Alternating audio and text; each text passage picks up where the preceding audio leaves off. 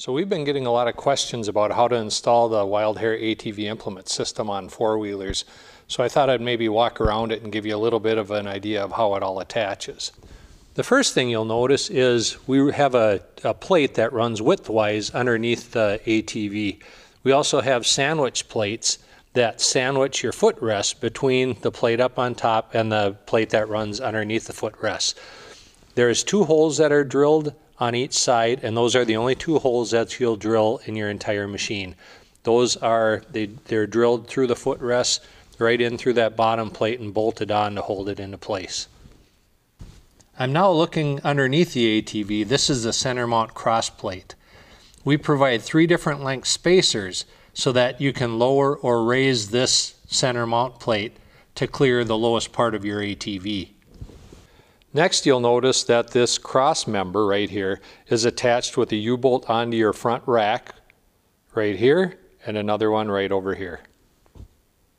We're now looking at the back of the ATV. This battery box comes with the Wild Hare system and there's also a template for drilling holes in the bottom of the battery box to attach to your rear rack. We also supply a couple zip ties to tie that down.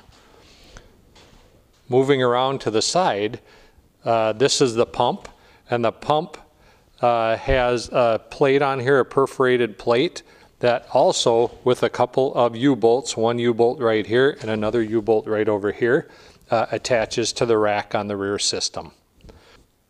Starting at the rear by the pump, we route the hydraulic lines and also the electric lines alongside the seat up to the front.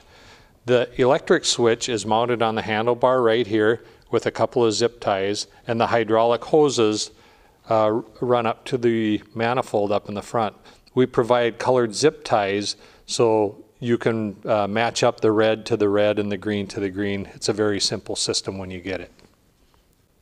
The switch on the handlebars controls the lift and the lowering of the arms, and it also controls the tilt up and back of the blade, the bucket, or the pallet forks.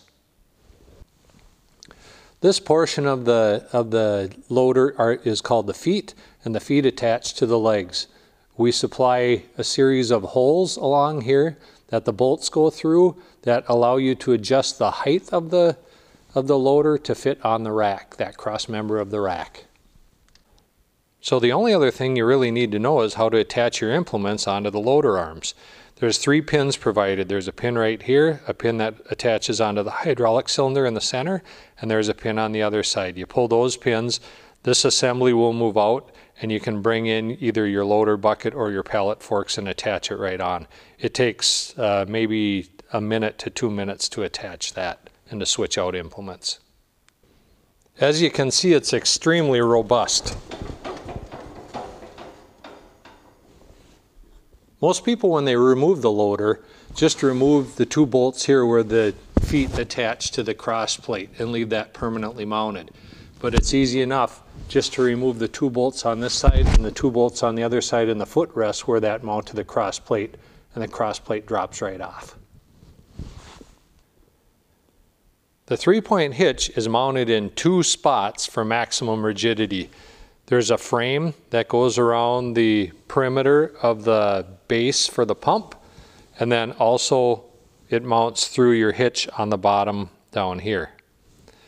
We provide an additional hitch so you can continue to use other uh, trailers and things like that um, after you have your system mounted.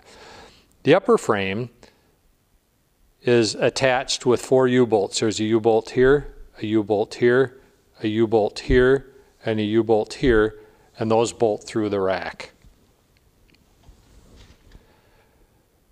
After that, the hydraulic hoses themselves that come with the three-point just connect right into the auxiliary hydraulics with quick connect couplings. As you can imagine, the height difference between the top of the rack and the hitch isn't the same on all the units. So we provide a hole pattern for adjusting that height.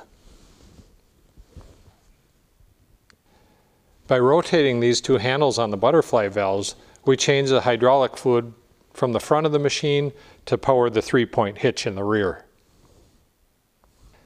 The implements on the three-point hitch attach similar to the implements in the front. There's a pin on the left side, a pin in the center link, and a pin on the right side. Again, takes a minute or two minutes to switch out an implement. We hope you enjoyed your tour of the Wild Hare ATV implement system. If you have any additional questions, please give us a call at 218 483 1000. Thanks.